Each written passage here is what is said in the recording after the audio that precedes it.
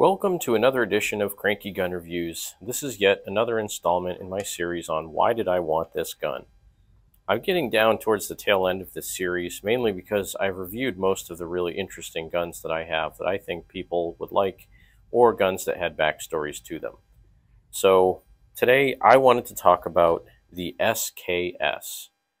Now the SKS is one of those guns that it's pretty iconic, been in lots of movies.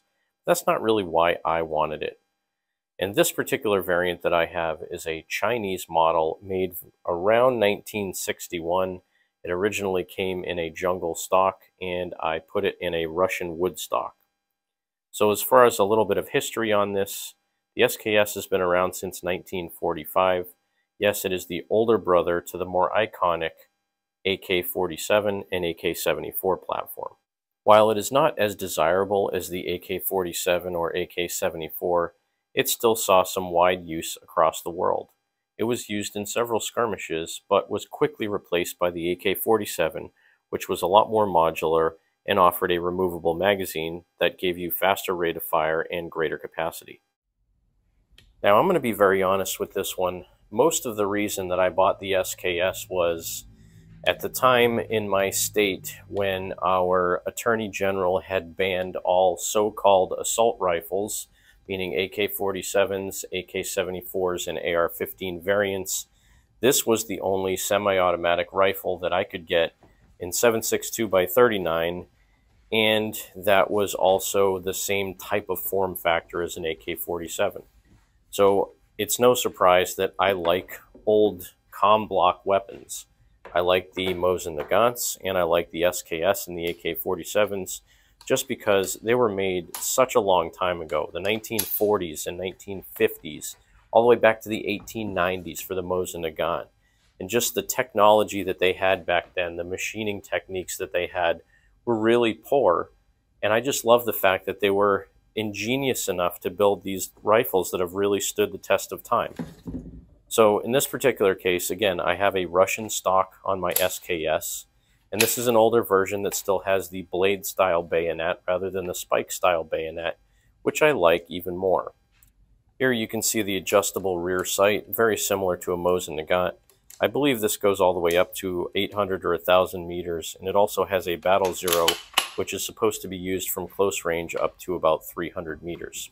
This rifle uses a stripper clip holding 10 rounds of 7.62 by 39 that is fed into an internal magazine inside the rifle itself. Very easy to load, very smooth to load, and even singly loading this is very simple.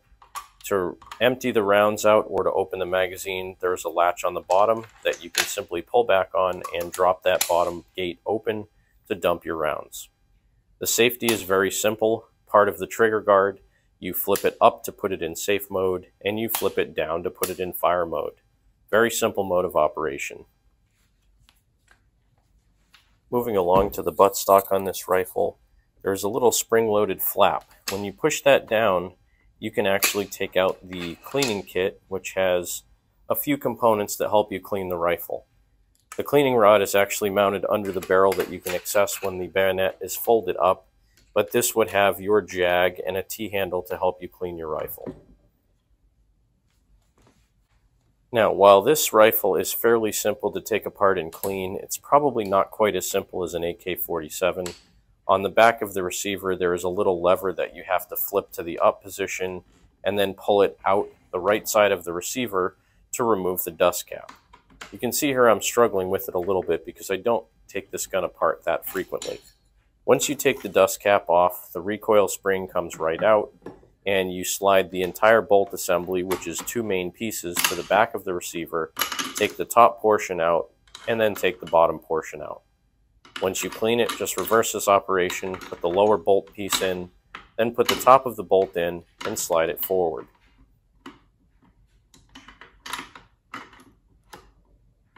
You can then simply slide your recoil spring back in the end of the bolt and put your dust cover back on by lining up the two notches on the sides of the receiver and then sliding it down while pushing forward on the spring to keep tension on it.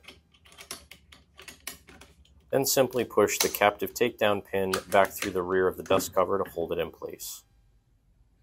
Now, as far as the gas system on this, it uses a short stroke gas piston, very similar to an AK-47. On the right side of the receiver, there is a little lever next to the sight that you flip up at about a 30 degree angle, 40 degree angle, and then you can slide this forward dust cover assembly off, which houses your gas piston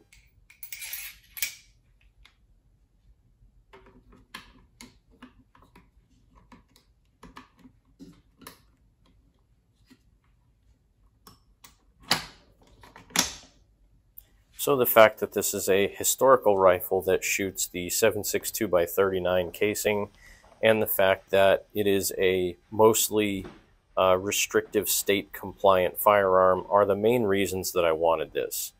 It's not elegant, it's kind of clunky, it's not that much fun to shoot, it's not that accurate. But yet, every time I think about selling it, I cannot bring myself to do it. I just love this gun too much. So, Thanks for watching another edition of Why Did I Want This Gun? And thanks for joining me here at Cranky Gun Reviews. God bless America. Support your 2A rights. Make sure you get out there and shoot.